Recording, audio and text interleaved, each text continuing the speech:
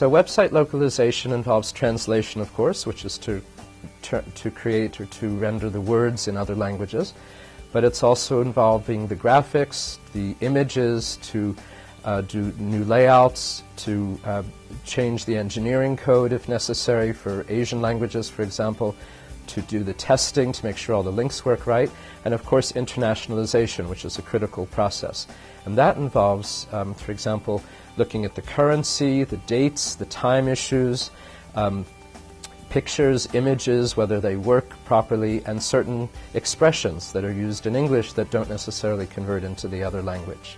The other part of the localization process that we can offer is to convert the domain name itself into other languages and then to get the domain name registered in that language and in the target country.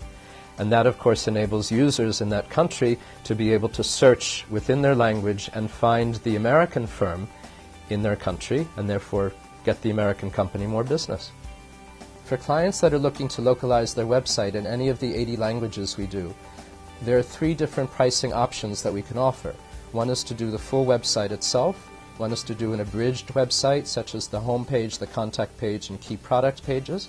And one is to do a two or three page summary of the company, which we can prepare in a doc or a PDF format in any of the 80 languages that we provide.